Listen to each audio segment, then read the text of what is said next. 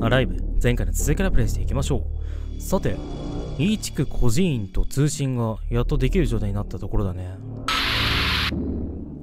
あつこ。マザあつこ、ここの会話聞かれているわ。マザ、お母さんが、何も話しちゃダメよ。お母さんが、お母さんが死んだの。そう。陽子があなたに会いに行くと連絡をくれた時、私は止めたの。でも陽子はあなたのお母さんは、あなたに会いに行くと言って聞かなかった。17年前、何も話しちゃいけねえっつってお前が話してんじゃねえか。ポリスに逮捕されると知って、陽子はあなたを私に預けた。そのことを彼女は罪だと言っていたわ。あなたを幸せにすることができなかった自分自身の罪だと。だから彼女はあなたに会いに行ったの。あなたを今度こそ幸せにするために。母さん。ごめんなさいね、やつこ。私は陽子から全てを聞いて、知っていて、あなたを預かったの。でもね、17年前あなたを守るにはこうするしかなかったの。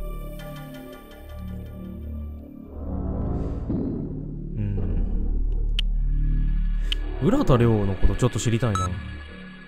浦田亮、あなた一体どこで？いや、でも結構有名な人なんじゃないの？母が、お母さんが私にくれたカードに浦田亮って。そう、陽子が。私すべての真相を知っているのはこの人だと思ってるの。それでどうするの、あつこは？会いたい。この人に、浦田亮に会って、どうしてお母さんを知らなければならなかったのか、どうして私を殺人犯にしたのか、私の知らない、私自身のことを私は取り戻したい。わたっかは？わかったわの5時かな。行きなさい、あつこ。うん。あつこ。はい。必ず戻ってくるのよ。結構ベラベラ話しちゃったね。あなたの家はいつもここなのよ。絶対貼られるじゃん、ここ。まずはありがとう。アキラとも繋がんないしな。ニュース見とく。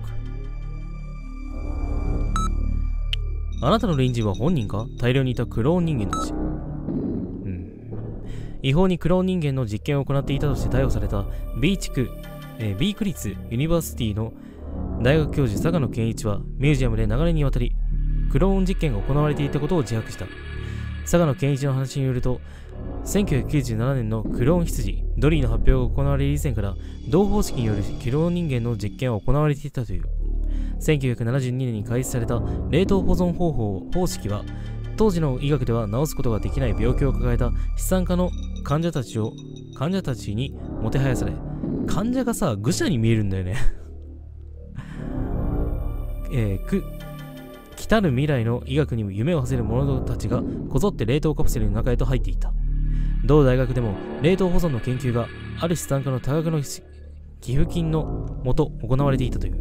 しかし、1985年、冷凍保存が解凍されてから回答されてからのブレインの再生化に問題があることが分かると、ある資産家からの寄付金は引き上げられ、大学側は冷凍保存の研究ばかりでなく、その存続さえも危ぶまれた。しかし、翌年セントラルエースバンから同大学へ多額の寄付金の寄付金を条件にクロー人間に関する研究依頼があり、大学の存続を考慮し、クローン人間の研究が開始された。さらに、研究の大型化に伴い、大学内で、えー、秘密保持に問題が生じてきたため、ミュージアム建設を理由に、その地下室内にクローンの大量生産研究所を設置。さらなるクローン研究が行われていたという。15歳で同学同大学の大学院に進んできた佐賀野健一は優秀だな。2001年よりこの研究に携わっていた。佐賀野の話では、今までに生産されたクローン人間は200人を超えるという。 B 地区ユニバーシティでは、この件に関して否定する否定しているが、ポリスはすでに大学内の調査を進めている。金が関わってくんだね、なんでも。ん？ゴチ区長たちを取り巻く黒い金、ポリス長官マネーロンダリングの顧客に。依然行方不明である支店長高瀬隆一だがセントラルエースバンクでは高瀬が引き出していた不明金のルートはほぼ解明し公表した亡くなった A 地区長元 A 地区長杉田秀隆氏と元 B 地区長太田邦明氏2人の、えー、地区長が裏金を授受していたルートからさらに5人のルートが明らかになった。まず、すでに亡くなった C 地区長と D 地区長、さらに失踪中の E 地区長と E 地区長の3人と、えー、地区長の名前が浮かび上がり、5地区統合特別税監査局は殺人事件と失踪事件の悲しみに暮れる3人の地区長の家宅捜査を開始した。さらに6人目のルートとしてポリス長官の名前が浮かび上がった。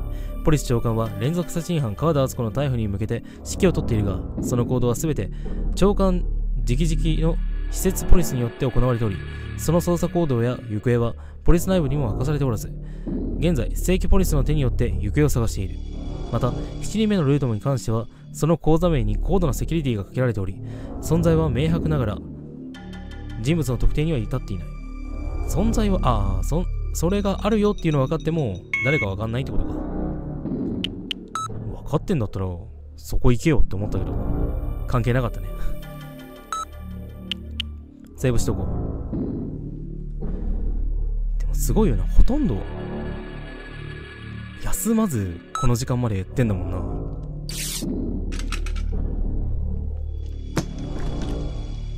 それ重いだけじゃないのか？大丈夫か？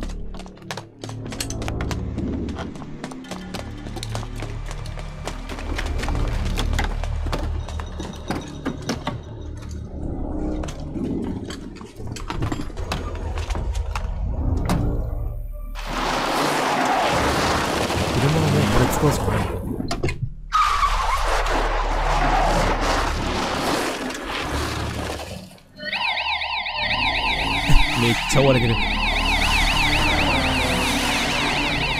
っと待って、またあれか？車のやつか。ああ事故った。早い早い。ん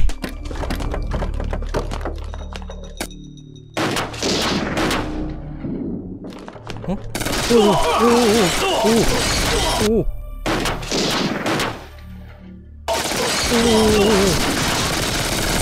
レンガでいいのこれどっち、お、下、下、下、下。えー、左。次は、左。右。次、次は。左。おおめっちゃ金かかる。あ、CG か。いや、でもほんまにやってるよね。あ、左。めちゃくちゃ難しいんだけど。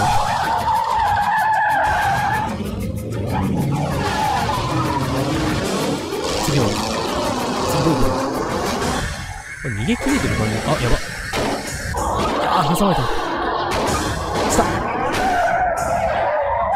止まったら同士打ちにならない。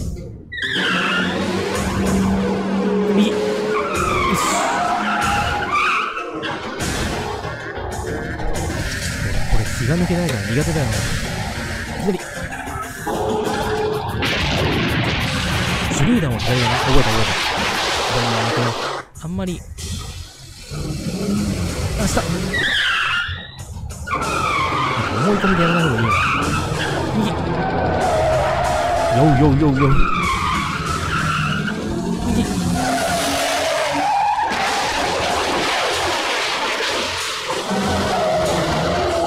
喋れなくなってくんね、これ。あ、上。全然逃げれない気がしないんだけど。大丈夫かあ、左。次は。あ、守備だ。左かな？あ、右だった。危ねえ。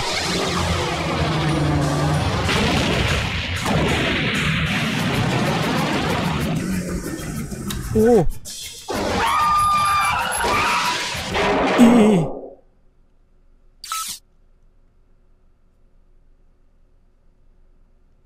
マジか。これ、さっき多分失敗してるんだよね。一発で成功できるんだよ。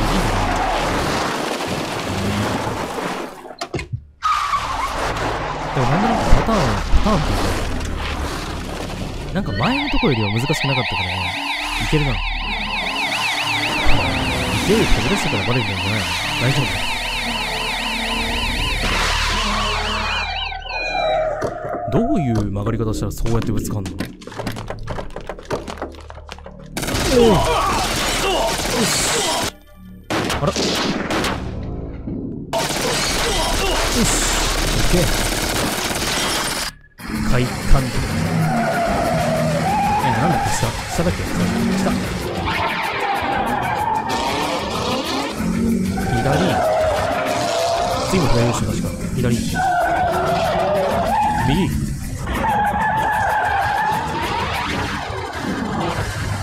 次も左だった気がする。そうだシュレーダーのも左なんな。2回目のシュレーダーまでは左だ。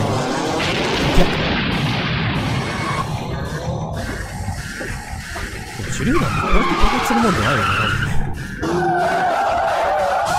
余裕が出てきた。本当にさ本当に金かかってるんだけど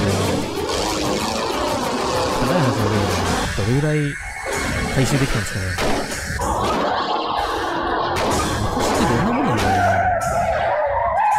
ブレーキして次。えー、右。タップ右に回る OK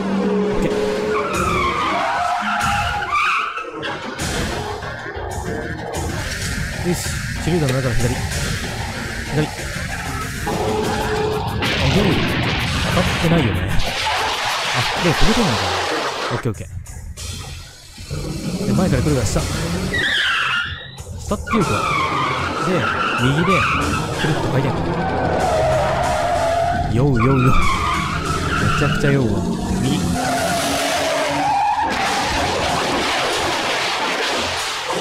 げえな本当に上で左で右だった気がする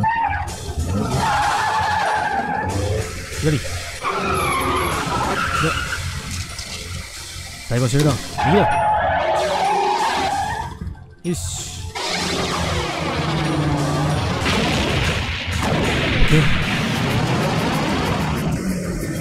おい。ダメか。ええ。ーめっちゃきついぞ、これ。ええー、マジか。めちゃくちゃ気抜いてたな。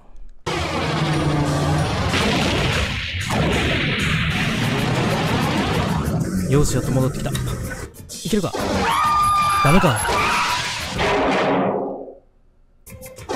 あ、ダメだわ。どんなもダメなのか戻すのに2年ぐらいかかるから勘弁する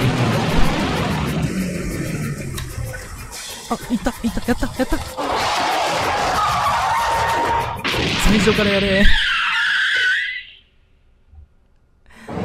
最初、あ、おおセーブセーブセーブセーブセーブアクセスとかいいアツコじゃないよ。ポリス長官は逃走したわ。5地区すべてのポリスが、ポリスが行方をくらました長官と直属のポリスたちを追っている。あなたの無実もきっと晴れるわ。頑張れ。ポリスセンター、有志一同。おお、ありがてえけど、すまない。俺はセーブさせてくれ。もうやだ。やった。セーブができる。よし。これ、どれぐらい、切ったらどれぐらいになるのかわかんないんだけど、もう疲れたから、とりあえずこの、ポリスセンターと、センターと通話できるらしいから、これとニュース読んで終わろうか。あつこ、あつこなの？誰？あつこ、どこにいるの？ダメよ。ここは筒抜けなのよ。え、誰？京子？あつこ、会話聞かれてるわ。だから手短に言うわね。うん。ポリス長官は、彼は絶対的証拠を握られる前に行方をくらませている。彼に直属のポリスがいることを知っているわね。ええ、何度も命を狙われてきたわ。あいつはもう全てを失ってしまった。多分、あなたが生き延びてしまった、生き延びてきたことがあいつを追い詰めてるのよ。気をつけて、あつこ。あいつはあなたを逮捕しようとは思っていないわ。あいつにはもう何も残っていないの。今度こそ本気であなたを殺しに来るわ。今までも本気だっただろう。私には行かなくてはならないところがある。それは誰にも邪魔させない。あつこ生きて、必ず生き延びるのよ。わかった。みんなに伝えて。ありがとうって。わかった。わかったって最初に言ってるじゃん。あとはニュースか。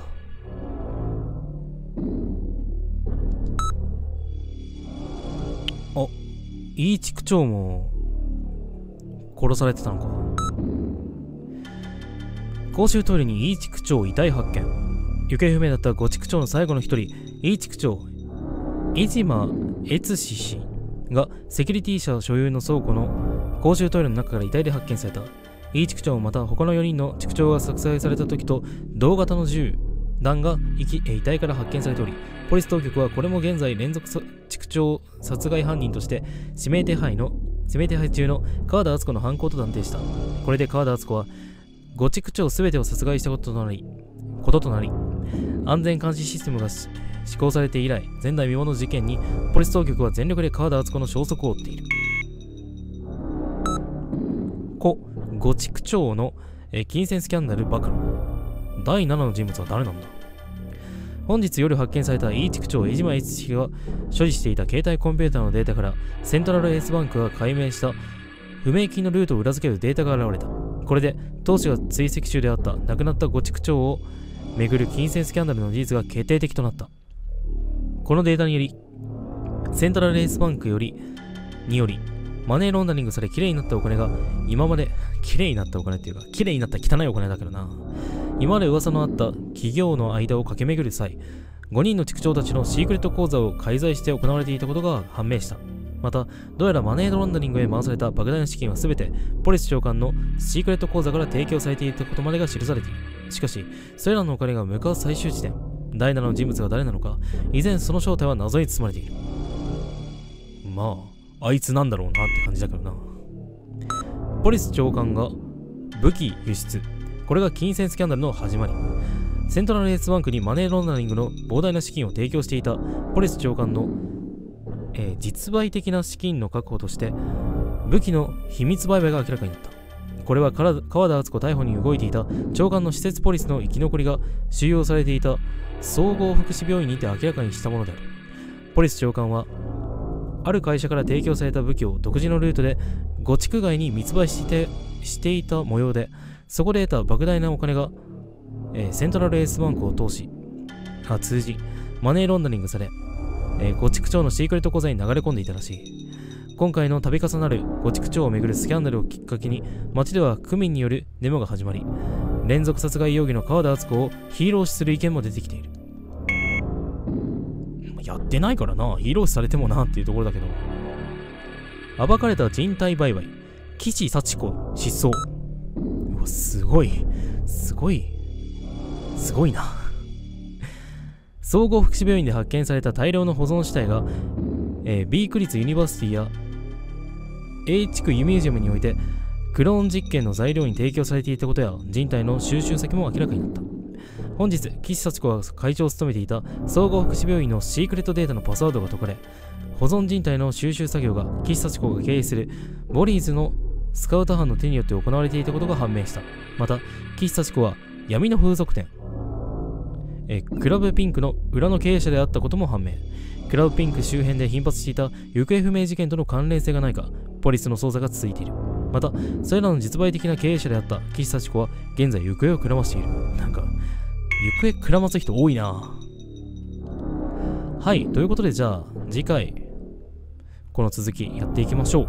それではご視聴いただきましてありがとうございました。よければ次回もよろしくお願いいたします。